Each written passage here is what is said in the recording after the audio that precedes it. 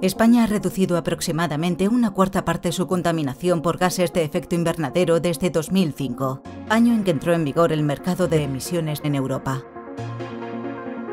La contaminación per cápita ha bajado todavía más, un 30%, y la actividad que más ha contribuido a este éxito es la de la generación de electricidad.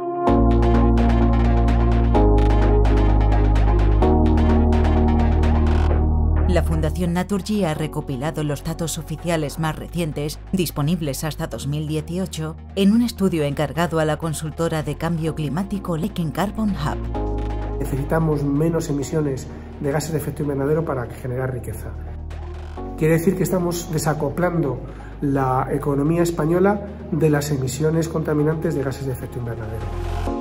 El Inventario Nacional de Gases de Efecto Invernadero sitúa la generación y consumo de energía como la principal fuente de emisiones del periodo con el 75,5% del total. Esta categoría engloba el transporte, el más contaminante con un 24% de las emisiones totales, la generación de electricidad, con un 21%, el uso de combustibles en instalaciones industriales, con un 13%, y el ámbito residencial, comercial e institucional con un 8% de las emisiones totales. Además del sector de la energía, el informe recoge datos en otros tres sectores.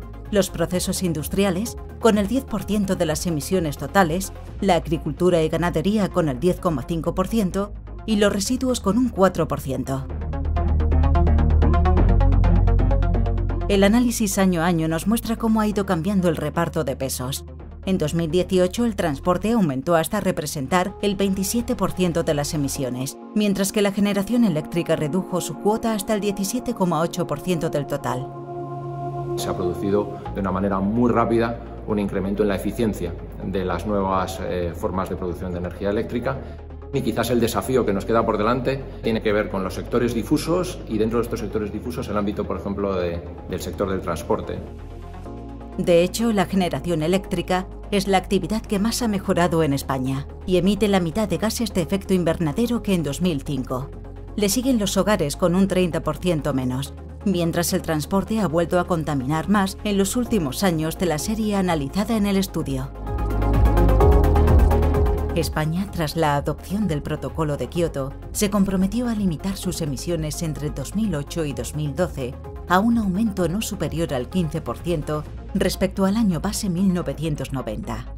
Aunque las emisiones superaron ese valor, se cumplieron los compromisos adquiridos utilizando, al igual que otros países, los mecanismos flexibles contemplados en el citado protocolo.